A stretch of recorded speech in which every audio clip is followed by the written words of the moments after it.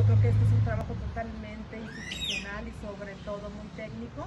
Aquí se revisa pues lo que pasó en determinado momento en algunos periodos de la administración y esto, bueno, si bien es cierto, ah, ciertamente que quiero creer que la gente ya está un tanto desesperada, el, la situación en la que se haya atrasado un poquito los resultados pues es por obvias razones de que se tuvo que bajar el ritmo, no por parte de la administración municipal, sí por parte del despacho externo, son gente que viene de fuera y que de una u otra manera, bueno, pues también ellos tienen sus políticas para salvaguardar su salud.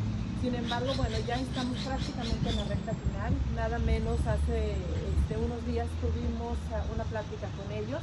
Prácticamente, como les digo, ya estamos en la parte final, de un momento a otro nos van a dar los resultados y en base a ellos sí con mucha responsabilidad. Yo les he pedido mucha paciencia, sobre todo en el tenor de que cualquier observación que salga tenga nombre y apellido en el tema de si son administrativas, si son por daño patrimonial. A mí no me gustaría generar o que la administración municipal generara una una, una, una, visión pues que fuera totalmente equivocada y que luego pueda eh, caer en el ámbito de la no credibilidad.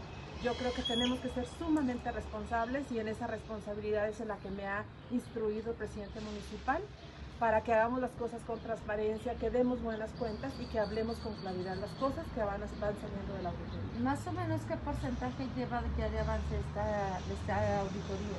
Pues ya le...